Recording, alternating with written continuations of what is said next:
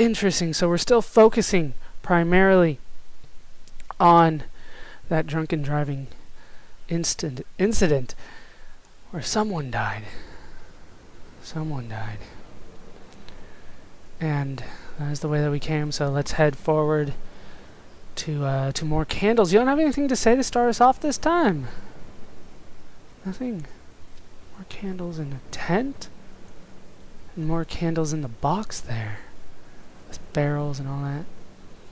It's too late for me to go up here. Uh, uh, uh, come on. Oh, I have to go around. Okay, let's head to the left, even though the candles clearly say we should go to the right. So I assume this is a way that we can get additional dialogue, and the other way is the way that we're meant to go. That's my reasoning there. I sat here and watched two jets carve parallel white lines into the sky. They charted their course, and I followed them for 21 minutes until they turned off near Sanford and were lost. If I were a gull, I would abandon my nest and join them. I would starve my brain of oxygen and suffer delusions of transcendence. I would tear the bottom from my boat and sail across the motorways until I reached this island once again. That was kind of cryptic.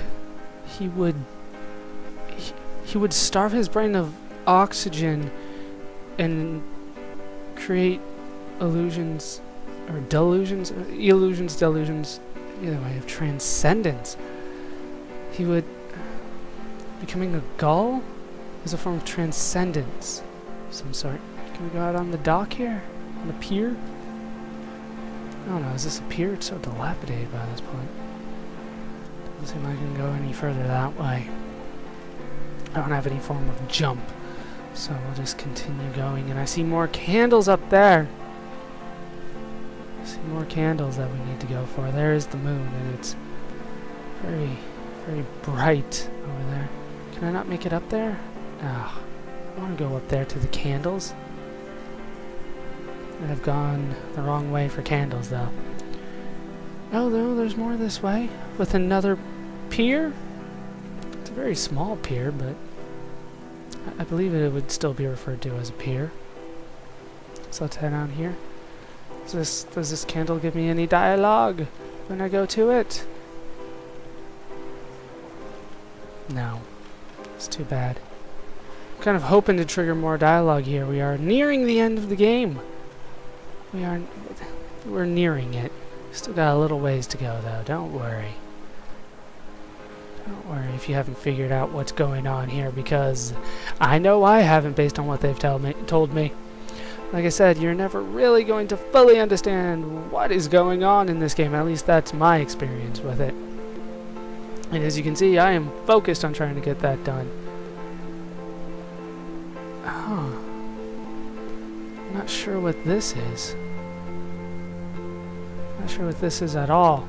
But I do want to do some backtracking here to go back towards those. begin to assemble our own version of the North Shore. We will scrawl in dead languages and electrical diagrams and hide them away for future theologians to muse and mumble over. We will send a letter to Esther Donnelly and demand her answer.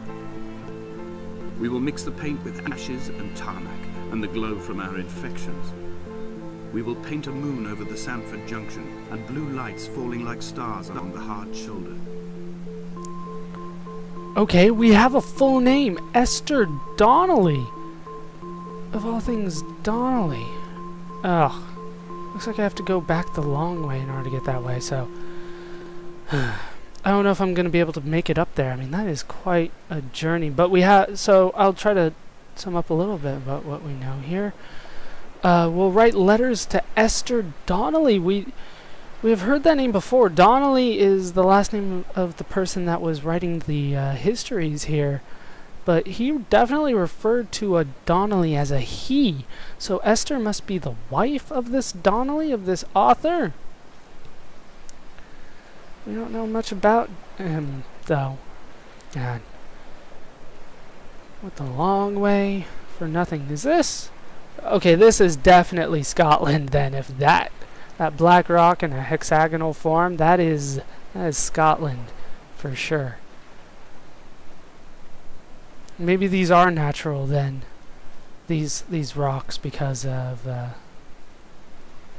Well, there there's this part in Scotland that I have seen. I have uh, well, I've seen it on TV and, and things like that, um, where.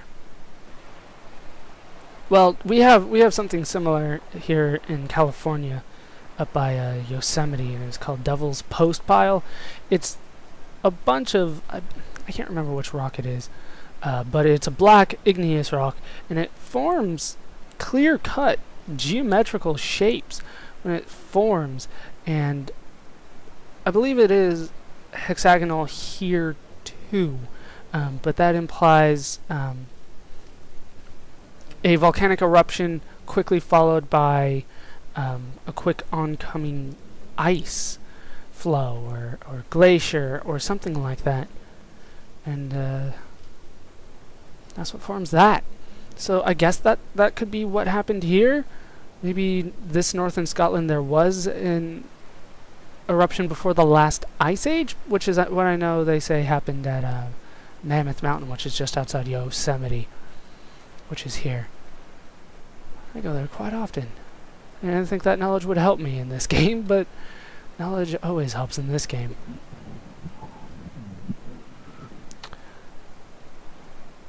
Are, you going to do that again? No. I swear there was a sound that triggered because I looked at that. Looked at the paint. So, who the narrator who had uh, painted uh, well, who had laid the candles, said he laid the candles, obviously painted everything here. He seems obsessed with that chemical. Could it be alcohol? He seems obsessed with it, and he's also obsessed about the drunk driving incident. Here we see pictures of, of the car crash that we had seen. Just reliving it over and over, it seems. That is no good. That is no good indeed. Let's head in here. Oh, lots of candles here. Oh, is that another defibrillator? It is. It's another defibrillator and all the medical equipment here. It's just reliving a few series of moments in his life here. I assume that the uh, the surgery and, and the drunk driving incident happened at roughly the same time. I assume those are pain pills. It's hard to say. But it is said that kidney stones are formed out of stress, and maybe the the additional stress from this loss during the drunk driving incident has formed. The, he said that it formed the island. I assume it's a metaphor. So now we can finally drop down here. Once again, that is a point of no return. So if you didn't go that way, that's how you get it. And we didn't get very much dialogue out of that, but we definitely are getting more of the story through the environment this game is all about environment and ambiance. If you haven't figured that out yet, but if you haven't figured that out yet, then possibly have not been paying attention. And there's the other molecule full of nitrogen. I don't know what that is. It's full of N's, though. I interpret those as N's. It could be a different symbol. Actually, now that I look at it, some of the... No, they look like N's to me. I was thinking of something else that it could be, but no, those look like N's. Is that a picture?